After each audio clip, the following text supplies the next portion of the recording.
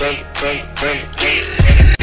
got broads in Atlanta, just at the lean, the family. Credit cards and the scammers.